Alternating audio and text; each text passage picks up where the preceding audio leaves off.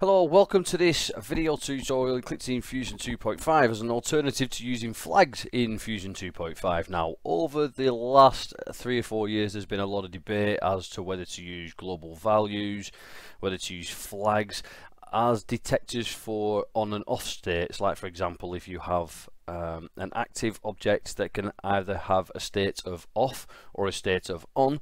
Um, there's multiple ways you could do it in ClickTeam Fusion 2.5 and that's the beauty of this software. I mean if you was doing it in programming you could use uh, boolean flags um, for doing this kind of thing but in Fusion there's multiple ways you can achieve the same desired effect. Uh, I'm going to show you another way that's not usually discussed much uh, and I'm quickly going to show you uh, a couple of the errors and mistakes that people do make uh, and the reason why. So let me just drop in an active object real quick. Right so I'm going to keep I'm going to uh, I'm not going to keep that. I'm going to just paint it real fast. So I'm going to give it like a let's give it a red. Give it a red color I'm going to create another frame here. I'm going to give it a green color I'm going to turn the animation speed down to zero so it doesn't play through this animation because I'm going to force it to do it manually. Alright so there's two a few fundamental ways you can go about things. Like for example you can always force the animation frame to zero. So that means when I run the application that it will always display the first animation frame which is zero. Uh, and then we can add a secondary event which says check for mouse pointer over an object. And if it is we can then change the animation frame to one. So if I run F8 again now it remains at zero like always. It should always be frame zero except when the mouse pointer is over it then we can change the animation frame to one. And it works a charm. It's real good real simple. Um, one of the mistakes some people make uh, in Fusion is using a global value or a alterable value.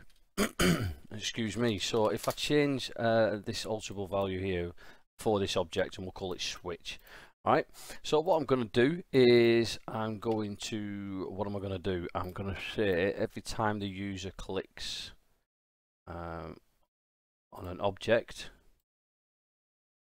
and a new condition, the alterable value of switch is zero, then set switch to one. Uh, I can then copy that, that down and then just say when the switch is 1, set it to 0. So basically you've got an alternating switch going on here. So let's just run this application now. If I drag this object into the debugger so we can keep track of that value, watch what happens. I'm clicking on the object and you can see it's still remaining at 0 that's one of the issues a lot of people come across with Fusion 2.5 and it's kind of illogical to have the same event uh, with different conditions in the same loop because what happens is Fusion picks up that this has happened but then this has happened straight after as well. Um, so it sets it back to zero. So you're just basically negating uh, this event is just negating this event uh, and it's complete it just gets rendered absolutely useless. So I'm going to show you a trick what you can do um, because on the third way you can have um, flags. Like for example we can say the mouse user clicks uh, on an object. We want that one. So we could say for example um, flags toggle uh, flag zero. All right so we're toggling flag zero.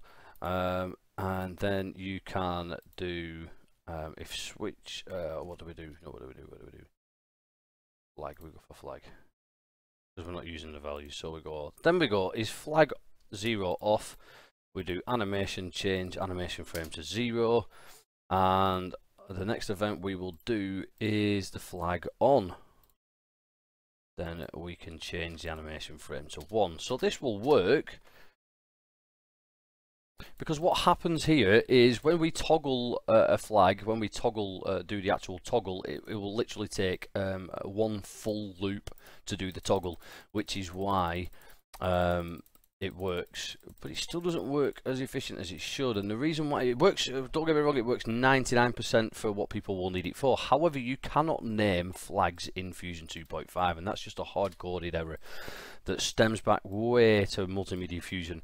Um, so how do we get around this? Well, there is a mathematical dysfunction called XOR that you can use. So you can use um, this to um, a, a, global value to produce a switch effect. Just bear with me one second because I've got one monitor trying to turn off. That's that fixed. Right, so what do we do? turn on. Um, right, so we've got our object here and we've got our switch here. Here we go. This is where the monitors are going to all get messed up now. Do apologise.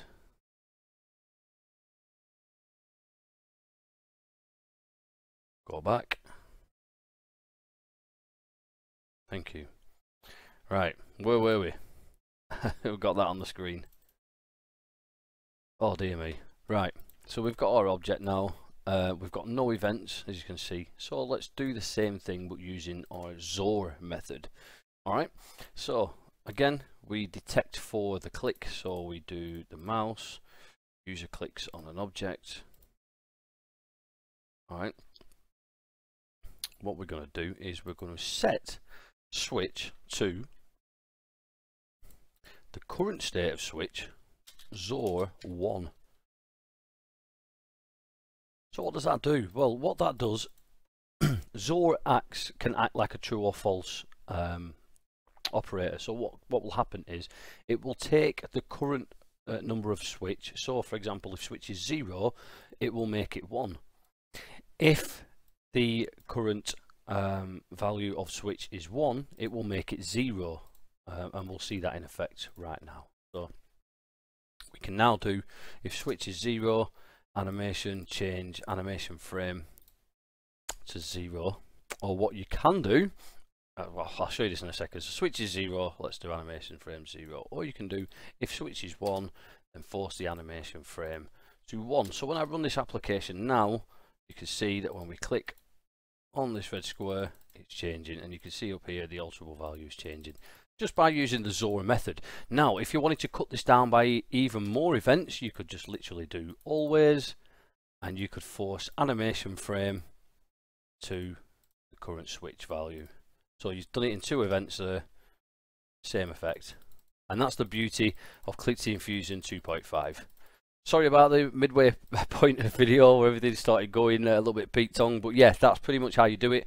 Um, and you can see that you can you can name uh, your global values. Uh, you can which kind of acts as flags now if you will um, which is quite cool uh, to do. I hope you enjoyed this video. Uh, don't forget to subscribe to the channel to check out more tutorial videos and also don't forget to check out the Click Fusion Academy website where you can see um, countless hours more video tutorials uh, and written tutorials private forums, uh, live Skype sessions, live streams and much, much more. Thank you very much for watching this video. I'll see you in the next one.